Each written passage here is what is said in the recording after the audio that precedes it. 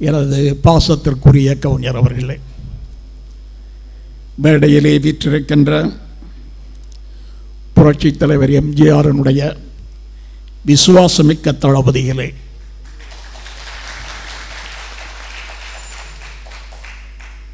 கீழே அமர்ந்திருக்கின்ற புரட்சித் தலைவர் எம்ஜிஆரின் ரத்தத்தின் ரத்தங்களே உங்கள் யாவருக்கும் என்னுடைய பணிவான வணக்கம். புரட்சி தலைவர் எம்ஜிஆர் விசுவாசி அல்ல நான். புரட்சி தலைவர் எம்ஜிஆருடைய அன்புக்கு உரியவன் அல்ல நான். புரட்சி தலைவர் எம்ஜிஆருடைய கட்டுப்பாட்டுக்கு அப்பாற்பட்டவன் அல்ல நான். ஏனென்றால் புரட்சி தலைவர் எம்ஜிஆர் முப்பத்தி எட்டு ஆண்டுகளுக்கு முன்பு என் இல்லத்தில் ஏற்றி வைத்த விளக்கு இன்றும் எரிகிறது திரியாய் அல்ல இன்றும் எரிகிறது திரியாய் அல்ல எங்களுடைய குடும்பத்தின் உயிராய் என்னுடைய இரத்தத்தில் என்னுடைய நாளத்தில் என்னுடைய நரம்புகளில் எப்போதும் புரட்சித் தலைவர் எம்ஜிஆர் இருக்கிறார் என்ற உணர்வு இருக்கின்ற காரணத்தால் தான் நான் எம்ஜிஆருடைய விசுவாசி அல்ல. எம்ஜிஆர் உயிரோடு கலந்த உத்தம தொண்டன் என்பதை இந்த நேரத்தில் நான் பணிவோடு தெரிவித்துக் கொள்கிறேன். புரட்சித் தலைவர் எம்ஜிஆர் அவர்கள் கட்சி ஆரம்பித்தார்கள் என்று நினைத்து அந்த கட்சிக்குள்ளே ஐக்கியமானேன். ஜேபிஆர் அவர்கள் சொன்னார்கள் காங்கிரசிலிருந்து அண்ணா திமுகவிலே ஒரு தொண்டன் சேர்ந்திருக்கிறான். அவன் பேச வேண்டும் என்று ஆசைப்படுகிறான். கோவை மாவட்டத்தைச் சேர்ந்தவன் என்று சொல்லுகிறான். பேச அனுமதிக்கலாமா? கேட்டார். புரட்சித் தலைவர் அவர்கள் சொன்னார்கள் பேசட்டுமே ஒரு இரண்டு நிமிடம் பேசட்டுமே என்று சொன்னார்கள். எனக்கு அனுமதி கிடைத்தது பேசினேன். இதோ இந்த மேடையிலே விற்றிருக்கின்றார் இவர் புரட்சி தலைவர் அல்ல. கொடுத்து கொடுத்து சிறந்த கரத்தையுடைய கொடை வள்ளல் அல்ல. மதுரையை மீட்ட சுந்தரபாண்டியன் அல்ல. நாடோடு மன்னன் அல்ல. ஆயிரத்தில் ஒருவன் அல்ல என்று அடுக்கடுக்காய் பேசிக் கொண்டிருந்தேன் கூட்டமே ஒரு டென்ஷன் என்று சொல்வார்கள் ஒரு உச்ச நிலைக்கு போய்விட்டது.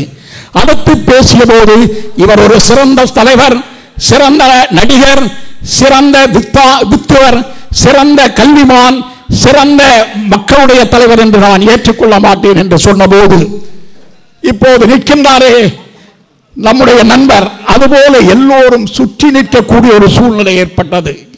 கடைசியில் முடிக்கையில் நான் சொன்னேன் இவர் கொடுத்து சொன்ன கரத்தையுடைய குடை வள்ளலும் அல்ல புரட்சி தலைவரும் அல்ல ஆயிரத்தில் ஒருவனும் அல்ல மன்னாடி மன்னனும் அல்ல என்று பேசி முடித்த பிறகு இவர் யார் என்று நீங்கள் கேட்கிறீர்களா? இவர் தமிழ்நாட்டின் இளைஞர்களை காக்க வந்த தெய்வம் என்று சொன்னேன். அப்போதுதான் எப்போதுமே தலைவருக்கு கோபம் வந்தால் ஒரு சைகை காட்டுவார். கோபம் அதிகமாக வந்தால் இப்படி என்று ஒரு சைகை காட்டுவார். அந்த சைகை உச்சகட்டத்திற்கு போன நேரத்தில் தான் இவர் தமிழ்நாட்டில் வந்திருக்கின்ற ஒரு மிகப்பெரிய தெய்வம் இளைஞர்களை காப்பாற்ற வந்த தெய்வம் என்று சொன்னார். பிறகு அந்த கூட்டத்தில் எனக்கு ஒருவனுக்குத்தான் பதில் சொல்லி புரட்சி தலைவர் அவர்கள் சொன்னார்கள். என்ன சொன்னார் தெரியுமா? கோவை தம்பி என்பவர் கோவையிலிருந்து வந்து இங்கு பேசினார். என்னை தெய்வத்திற்கு சமம் என்று சொன்னார். தயவு செய்து என்னை தெய்வமாக்காதீர்கள். உங்களுடைய தொண்டனாக நினைத்துக் கொள்ளுங்கள் என்று புரட்சி தலைவர் சொன்னார். இங்கே முனியப்பா வந்திருக்கிறார் முத்து வந்திருக்கிறார் புரட்சி தலைவர் எம்ஜிஆருடைய அன்பு தம்பிகள் தளபதிகள் வந்திருக்கிறார்கள். இப்படி சிதறி சிதறி கிடக்கின்ற புரட்சி தலைவர் எம்ஜிஆருடைய முத்துக்களை எல்லாம் தமிழ்நாட்டில் எத்தனையோ முத்துக்கள் முனியப்பா போல முத்து போல எத்தனையோ முத்துக்கள் தமிழ்நாடு முழுதும் சிதறி சிதறி கிடக்கிறது. சிலது மண்ணில் கிடக்கிறது சிலது துருப்பிடித்து கிடக்கிறது சிலது சேற்றில் கிடக்கிறது சிலது கிணற்றில் கிடக்கிறது. அந்த முத்துக்களை எல்லாம் வருகின்ற நூற்றாண்டு விழாவில் இந்த மன்றத்தைச் சேர்ந்தவர்கள் தேடி தேடி எடுத்து அதை பழிச்சிட்டு இந்த மேடையிலே வைத்து இதோ இங்கே அமர்ந்து இருக்கின்றாரே மாபெரும் தலைவர் அவருடைய உருவப்படத்திற்கு அந்த முத்துக்களை எல்லாம் பழிச்சென்று போட வேண்டும் என்று கேட்டுக்கொண்டு விடைபெற்றுக் கொள்கிறேன். நன்றி வணக்கம்.